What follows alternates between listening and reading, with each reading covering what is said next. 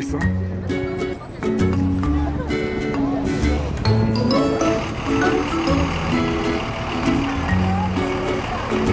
이거 잡는